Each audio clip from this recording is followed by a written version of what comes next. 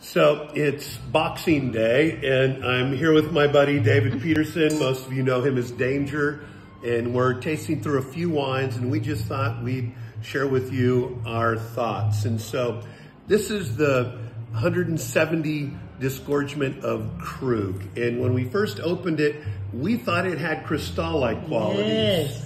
It it had bright acidity and it was really vibrant.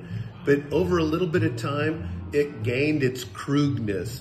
All of a sudden, it became like 164. You felt the richness, you got the complexity, the disgorgement.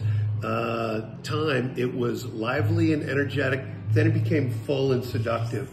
This is classic Krug. This is what we look for. I don't know which vintages go into 170, but you have to assume it's most of the recent classic vintages. This is fabulous non-vintage Krug. It's why we love it so much.